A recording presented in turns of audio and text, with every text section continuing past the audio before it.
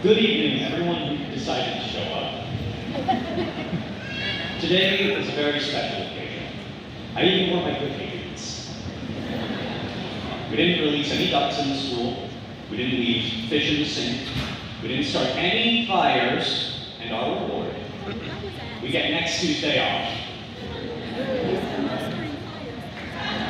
We get next Tuesday off. We began our high school career in the middle of COVID, an uncertain time where none of us knew what was to come, even more so than the freshmen before us. We spent four years not caring about any school spirit, to the point where some of us were upset this year when the freshman class uh, tried to take last place from us during homecoming. When I was filling out our senior superlatives, I looked around Mr. Schmidt's room and voted Sarah Park for most school spirit, just because she was wearing a Prairie Heights So, if you asked me if I could describe our class in one word, I would have an answer. Apathy. I would like to talk about something that most of us have come to despise, but something that I have found more enjoyment in than I probably should have.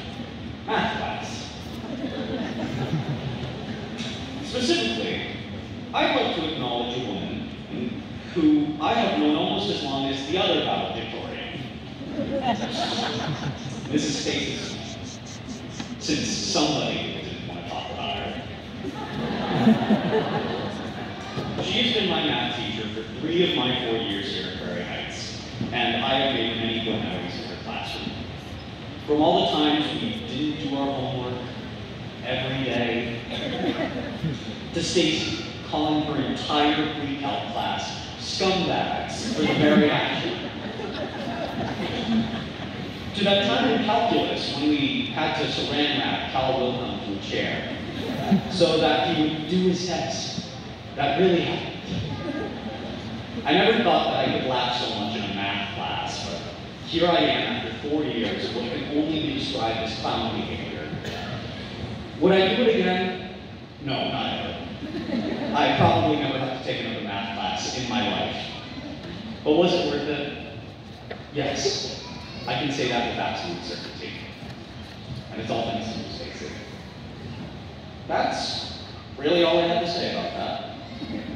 She's not my mom after all, Adeline.